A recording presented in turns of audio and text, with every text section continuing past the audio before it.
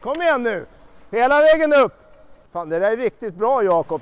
As a partner of Champions Hockey League, the tournament for the best hockey teams in Europe, NordicBet wanted to consolidate its position as the betting company for savvy sport lovers. Media agency Isobar contacted OTW to create and spread content in purchased, owned, and earned channels.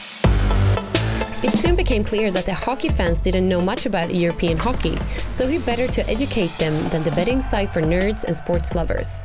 The result became an online TV series, Garpens Europe. Ja, det här ska bli eh, riktigt spännande måste jag säga. As the presenter and show host, the former NHL player and Swedish hockey legend Johan Garpenlöv was recruited.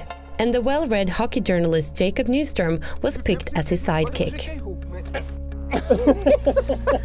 the online show resulted in two seasons and a total of 18 episodes. Last time we met was on the ice and you scored the big goal. The series is taking their viewers on a journey beyond the conventional coverage.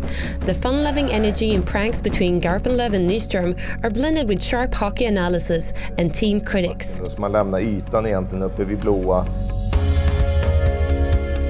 The show has had a total of over 3 million viewers with an average viewing time of 3 minutes and 52 seconds. Kan du jämföra Arno Del Curto med någon tränare du haft tidigare? Ja, inte en. As an effect of the success and popularity of the show, one of Sweden's leading media companies, MTG, decided to air the series on its online TV channel, TV10 Play.